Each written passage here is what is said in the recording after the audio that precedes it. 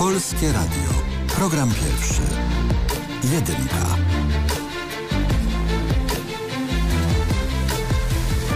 Za chwil kilka, proszę Państwa, o tym skąd się biorą rekordy zimna.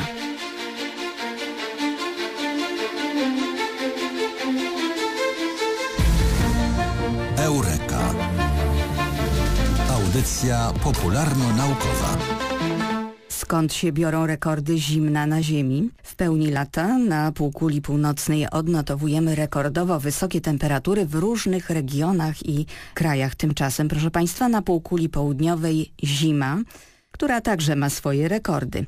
W końcu lipca minęło 40 lat od zanotowania najniższej temperatury zarejestrowanej na Ziemi, to jest minus 89,2 stopnia Celsjusza, a miało to miejsce na Antarktydzie. O najniższych temperaturach na Ziemi, także o biegunach zimna w Polsce będę rozmawiać z gościem Eureki, jest z nami profesor Piotr Głowacki, geofizyk z Instytutu Geofizyki Polskiej Akademii Nauk, przewodniczący Komitetu Badań Polarnych przy Prezydium PAN. Witam pana profesora w programie pierwszym Polskiego Radia. Witam panią redaktor, witam także radiosłuchaczy. Najzimniejszą planetą, panie profesorze, w naszym Układzie Słonecznym jest najbardziej oddalony od Słońca Pluton i tam temperatura sięga minus 233 stopni Celsjusza. Według naukowców w przestrzeni kosmicznej jest jeszcze bardziej lodowato, bo minus 270 stopni Celsjusza. Czyli ta antarktyczna temperatura 89,2 stopnia Celsjusza to takie trochę średnie stany. Tak, no tylko dzięki temu, że mamy atmosferę. Te Chroni planety, nas. Tak, te planety, które nie mają albo mają o wiele cieńszą powłokę atmosfery, po prostu nie mają tej osłony. Prosto jak my się naubieramy mocno, to też nam jest mhm. cieplej. W każdym razie, jeśli chodzi o to zimno w tych okolicach biegunowych, mamy bardzo długi okres bez dostawy ciepła postaci promieni słonecznych. Mamy pół roku noc polarną i pół roku dzień polarny. W związku z czym w czasie nocy polarnej następuje duże wychłodzenie tej atmosfery w okolicach tych biegunów i wręcz w okolicach biegunów tworzy się tak zwany wir polarny i w tym wirze polarnym temperatura oscyluje w granicach minus 50, minus 60 stopni. I na Antarktydzie, i tu na biegunie północnym. Chronią nas przed tym spływem tego zimna, chociażby nas, Europę, tak zwane wiatry strumieniowe które na wysokości 11 km sobie pędzą z szybkością nawet 100 km na godzinę i działają tak jak ekran wokół autostrady, który także chroni nas przed wiatrem, a okolicznych mieszkańców przed hałasem. Czyli mamy szczęście, że mieszkamy na półkuli północnej. Tak. I te rekordy zimna są na południu, a nie na północy. Jeśli chodzi o południe, to także tam mamy wiatry strumieniowe, przy czym Antarktyda jest otoczona zimnym prądem morskim. Mamy przecież kontynent, pokrywę lodową, w związku z czym dużą stabilność. Natomiast tu na północy mamy lód pływający na morzu i oceanie i w zależności od tego, jak ten lód się wytapia, to ten wir polarny czasami przyjmuje formę takiego precelka, czasami się nawet potrafi rozdzielić na dwa i wtedy co się dzieje? Wiatry strumieniowe, te, które nas chronią, zmieniają swoje położenie i potrafią wiać nie wzdłuż koła podbiegunowego, tak sinusoidalnie, a wręcz schodzić daleko na południe. Stąd też między innymi w Stanach czasami te niskie temperatury po minus 40 stopni, bo wtedy precelek pękł i to zimno powietrze ma możliwość dotarcia także i do nas. My tu w Europie jesteśmy trochę przed tym chronieni, dlatego że najczęściej te wiatry strumieniowe i taki jest rozkład tego lodu wracają Atlantykiem na północ i nas chronią, ale czasami dostajemy także te napływy zimnego powietrza z okolic biegunowych. Ale przenieśmy się na biegun południowy, na Antarktydę. Tę temperaturę minus 89,2 stopnia Celsjusza odnotowano wewnątrz kontynentu na Antarktydzie Wschodniej. Tam jest taka lodowa pustynia, lądolud o grubości ponad 3,5 tysiąca metrów wysoki, ponad 3000 metrów. Czy mogą być jeszcze wyższe te niższe temperatury? To są dane zmierzone bezpośrednio przez pracowników lub przez automaty w stacjach badawczych, które są na Antarktydzie. Natomiast NASA przy pomocy satelitów potrafi określać temperaturę na innych także powierzchniach. Co wskazuje ten kosmiczny termometr? Tak, pokazał, że najzimniej na naszej planecie było w 2010 roku w okolicach japońskiej stacji Dom Fuji zanotowano temperaturę minus 94,7 stopnia. Też w Antarktyce Też Wschodniej. właśnie po 2010 roku mieliśmy sporo bardzo ostrych zim w Antarktyce. Natomiast mieliśmy ciepłe zimy tu u nas na północy. Trzeba pamiętać o tym, że bilans energetyczny Ziemi musi jakoś się równoważyć. I mamy bardzo ładny dowód na to, jeśli mamy zimno w Arktyce, to mamy ciepło w Antarktyce i na odwrót. Sytuację także wzmacnia to, co się dzieje na morzach i oceanach.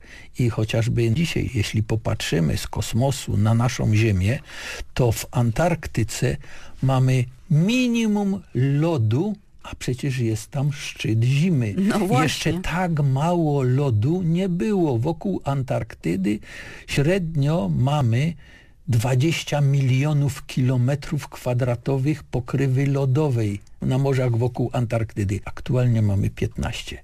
Natomiast na północy, co ciekawe, w tym roku idziemy prawie po maksimum z ostatnich 15 lat. Jeśli mamy nieroztopiony y, lód tu na północy, to też wszystkie fronty ciepłe, które idą, one nie przemiatają Skandynawii tak szybko, nie wydostają się daleko na północ, tylko są blokowane na tym lodzie. I u nas zostaje w Europie chociażby to ciepłe, gorące powietrze, ale i ostatnio także i bardzo wilgotne. Także strefy polarne bardzo mocno ważą w tym kociołku pogodowym, także i dla Polski. No właśnie, a jak jest z Polską? Bo 11 lutego 1929 roku zanotowano minus 43 stopnie Celsjusza, ale oficjalnie ta najniższa temperatura była zarejestrowana 11 stycznia 1940 roku w Siedlcach. To było minus 41 stopni Celsjusza. Nigdzie się nie powtórzyła, tylko w Siedlcach. Natomiast te niskie temperatury powtarzały się w wielu miejscach Polski w 1929 roku. No ale oficjalnie to oficjalnie, panie profesorze. Troszkę można się dziwić, bo wydawało nam się, że biegun zimna jest w północno-wschodniej części. Często wymienia się Suwałki. Tak, przede wszystkim musimy popatrzeć na to, że te spływy zimnego powietrza, one z północy przychodzą i zależą od wiru polarnego, tych wiatrów strumieniowych. Taka średnia temperatura w czasie zimy w Arktyce na biegunie to jest tylko minus 52 minus 55 stopni. Tylko. To, tylko. Ktoś powie, powie, dlaczego tak ciepło tu w Arktyce w stosunku do Antarktydy. Na Antarktydzie jest zimniej. Tam mamy ląd. Łącznie z kopubą lodową jesteśmy na wysokości 3, czasami 4 tysięcy metrów. A tu na północy jesteśmy na poziomie morza, ponieważ lód ma grubość aktualnie 2 do 2,5 metra. Tylko? Tylko. Jeszcze 50 lat temu miał 3 metry grubości. W związku z czym my jesteśmy na poziomie morza, a każdy wie, im wchodzimy w górach wyżej, tym nam jest chłodniej. Jeśli popatrzymy na te 3000 metrów, to widzimy, dlaczego w Antarktyce w środku zimy temperatury muszą być niższe, te mierzone, w stosunku do temperatur tu na biegunie północnym.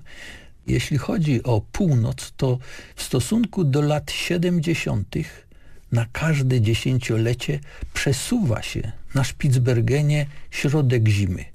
On w latach 70.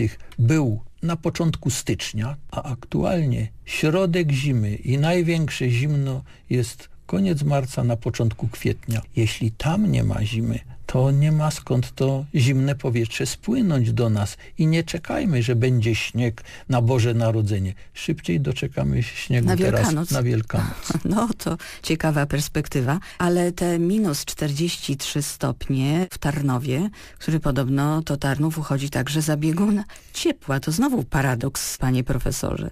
Tak, bardzo często także słuchacze słyszą, że w kotlinach górskich temperatura jest niższa aniżeli na szczytach. A właśnie południe Polski, Karpaty, to jest miejsce, gdzie mogą być inwersje, w związku z czym tam to zimno może być większe aniżeli chociażby nawet w Suwałkach. Czyli inwersja to jakiś bałagan w powietrzu, E, panie profesorze? To znaczy odwraca się struktura termiczna. Najczęściej się dzieje w nocy, nad ranem, południe zanika. W tej inwersji można powiedzieć, jak e, czasami parzymy herbatę i, i w takim naczyniu specjalnym i te fusy ściskamy w dół, tak samo może być i w atmosferze, że te wszystkie zanieczyszczenia nagle zostaną stłoczone w cienką warstwę, tą przyziemną.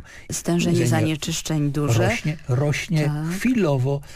Oddziałuje No i- to także na roślinność. No i na temperaturę, która I ta temperatura jest, jest, też niższa, niższa. bo tworzy się taki kożuch, Tak. koc oddzielający Tak. tę niższą część. Tak, i i wtedy e, słońce ma utrudnione możliwości ogrzania i to dopiero po kilku godzinach mija. Także temperaturowe Paradoksy. paradoksy mogą powtarzać się w różnych miejscach. Przykładowo Jakucji minus 62 stopnie zimą, a latem plus 38. Cieszmy się, że nie jesteśmy narażeni tu w Polsce na tak skrajne przypadki różnic temperatury, a tak samo zawirowań pogody. Powiedział z uśmiechem gość Eureki, był z nami profesor Piotr Głowacki, geofizyk z Instytutu Geofizyki Polskiej Akademii Nauk, przewodniczący Komitetu Badań Polarnych przy Prezydium Polskiej Akademii Nauk. Dziękuję bardzo za ten optymizm. Dziękuję. Eureka. Audycja popularno-naukowa. Kolejna Eureka już jutro po 19.30. Zapraszam. Dorota Truszczak, do usłyszenia. Polskie Radio. Program pierwszy. Jedynka.